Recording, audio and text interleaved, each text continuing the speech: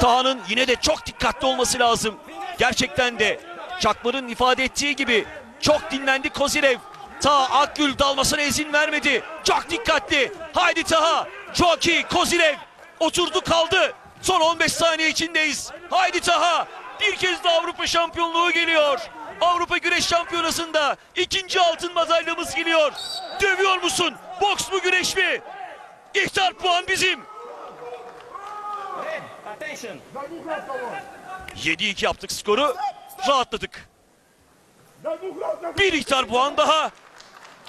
Hakemin uyarısıyla müsabakayı sürdürmesi gerekiyordu. Tamam gençsin, çok hareketlisin. Ama işte ta Akgül gibi bir tecrübeyle müsabaka yapa yapa belki yenile yenile öğreneceğin çok şey var. Üçüncü ihtar puan kalan bir saniyede diskalifiye oluyor. Ta da çok kızdı, çok sinirlendi hiç gerek yok. 9-2'lik üstünlük daha bir kez daha Avrupa şampiyonu.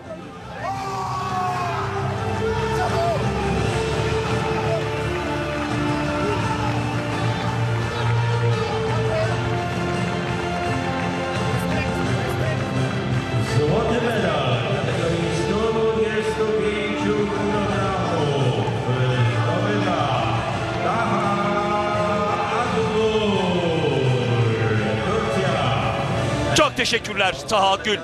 Bu gururu bize yaşattığın için. Centilmence Rusya köşesini de tebrik etti. Antrenörümüz Abdullah Çakmar'dan da tebrik alıyor. Ve zafer turu omuzlarda Taha Gül. Dönüşü muhteşem oldu. Sakatlığı endişelendirmişti. Olimpiyat oyunlarının ertelenmesi belki de en çok ona yaradı. Tokyo Olimpiyat oyunlarındaki yine altın madalya umudumuz, umutlarımızdan biri ta Akgül Avrupa Şampiyonası'nı zirvede tamamlıyor.